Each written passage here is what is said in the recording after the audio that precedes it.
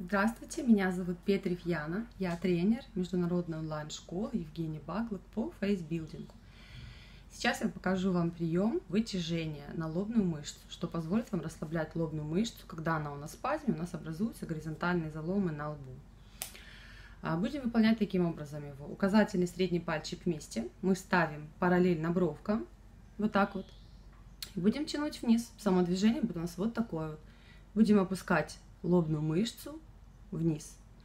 А, еще, чтобы усилить эффект вытяжения, будем переводить взгляд а, в сторону опускания мышцы. То есть, если мы опускаем мышцу вниз, значит, у нас взгляд тоже будет опускаться вниз.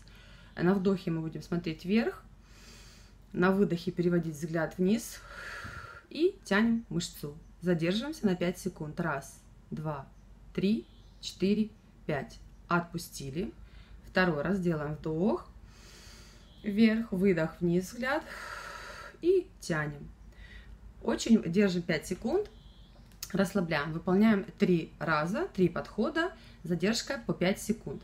Очень важно в этом упражнении не э, задействовать зону межбровья, зону переносицы. То есть вот такого вот ни в коем случае вы не должны делать. Вы должны опускать лобную мышцу с минимальной нагрузкой на зону межбровья. И еще очень важно не бояться в этом упражнении. Не бойтесь, опускайте, тяните. Вы должны ощущать, ловить приятное ощущение. Вам должно быть приятно, потому что мышца ваша расслабляется.